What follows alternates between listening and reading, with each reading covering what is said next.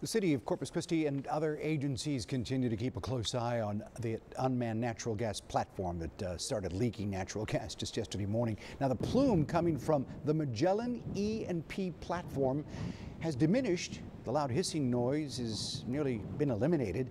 A sheen that could be seen on the water near the rig yesterday is no longer visible.